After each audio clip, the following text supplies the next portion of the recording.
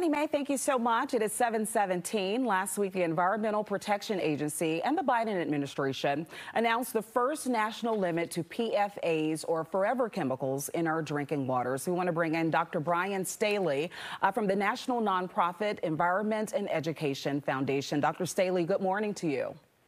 Good morning, Marissa. How are you? I am great. Uh, let's begin with the, the newest legislation, but also what PFAs are. Sure. These are man-made chemicals, uh, per and polyfluoroalkyl alkyl substances. Uh, better to say forever chemicals. It rolls off the tongue easier. But these are in hundreds of consumer products, including dental floss, uh, food packaging, and even toilet paper. And so um, they're everywhere and even been detected on both uh, poles on the globe. It's so interesting you mentioned that because I always think of just drinking water, but there, I mean, pizza boxes, takeout containers, they're really in almost everything. Uh, talk about the limits that will be placed. Sure. So the EPA, as of the thousands of, of PFAS compounds that are out there, this particular legislation focuses on six. Um, two of the, the legacy compounds that are designated PFOA and PFOS have limits of four parts per trillion in drinking water. So it certainly is a way to help reduce exposure to those potential detrimental health effects we all may experience from PFAS. What are those health effects and, and why are they dangerous or, or, or can be potentially?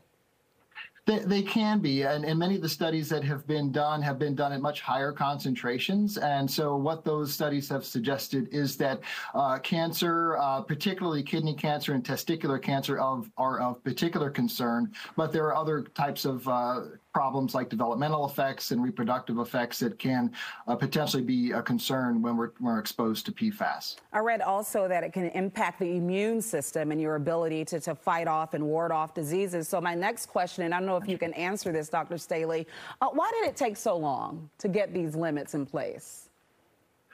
Well, in, in many respects, uh, there there have been uh, there has been debate around the public health aspect of things. How concerning are these particular compounds? Um, in many respects, one could say this legislation is really a band aid because the exposure that we get as as humans, um, really, drinking water is one of three primary sources. We also get exposure from inhalation as well as ingestion. So there's a lot of work still to be done.